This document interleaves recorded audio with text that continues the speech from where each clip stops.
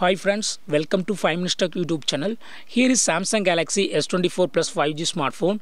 In this video, you will learn how to customize lock screen notifications content in your phone Samsung Galaxy S24 Plus 5G. First of all, uh, lock your phone and see here in the lock screen there are some notifications showing. If you would like to uh, customize uh, content of these notifications yes you can do it what you got to do is go to the settings of a phone here then go to uh, notifications and go to lock screen notifications. And here uh, it is uh, selected as show content. Okay so content will be showing on the lock screen. Uh, but uh, it will be showing content only for the selected apps. Okay camera chrome and 8 more. Okay so if you would like to customize uh, this content for which apps to be displayed there yes you can customize. Okay click on the settings button.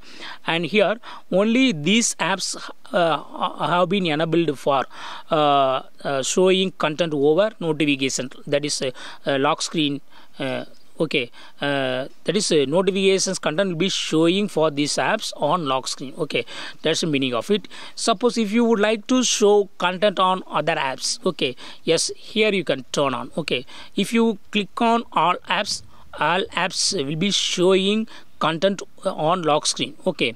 Uh, suppose if you would like to turn off uh, uh, content over lock screen just you can turn off button against such app and for those selected apps they, they they will not be showing content over lock screen. Okay.